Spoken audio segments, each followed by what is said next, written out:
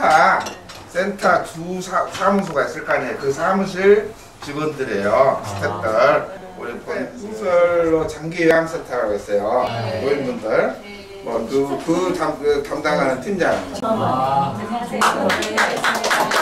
팀장이고 그, 그 옆에 뭘 봤나야? 이렇게. 이제 우리 사무실 행- 행정 간사. 사무 행정 간사. 그다음 저쪽에는 이제 우리가 또 아까는 뭐 근데 반찬 가게고 반찬 공장이 있어요. 한 600명 분 이게 도시락 밑반찬 그 제공하는 자, 거기 팀장이면서 영양사. 영양사. 예. 그리고 또 복수판장. 여기는 이제 장기요양센터 같은 일 업무 엄청 많이 가죠. 장기요양센터 이제 업무 행정 간사. 그 다음에 이제 제일 중요한 사람. 우리 본센터 회계를 좀 총괄하는 총.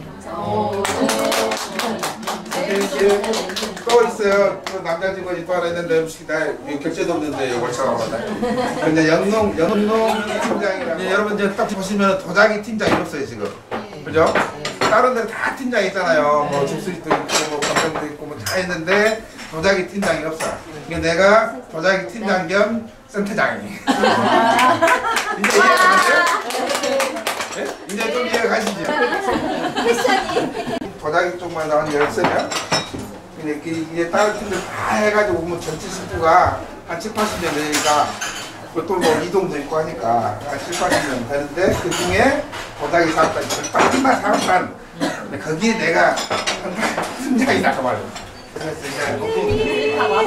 이건? 아 여기는 너무 식당이지 뭐 조금 나 오늘 계속 혼날 거야. 나는 그런 양반 있는 거야.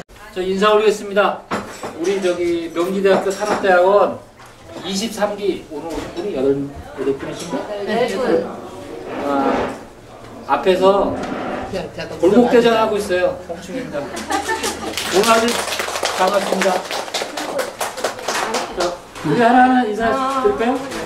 안녕하세요. 저는 광주에 살고요. 흙이 좋고 사람이 좋고 그래서 여기 떠날 수가 없어요. 사랑합니다. 광주에서 안녕하세요. 저는 저기 서울에서 왔고요. 저도 우리 명지대 산업대학은 23기고요. 저는 아시다시피 이렇게 방송 쪽 일을 하고 있고요.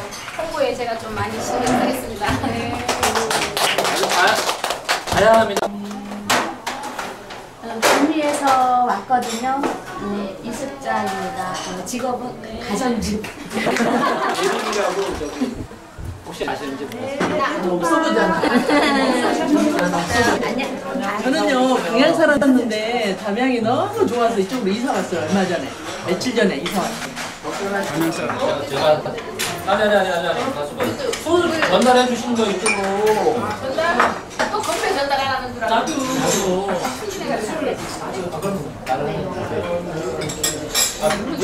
이거는 건배자를 한 번.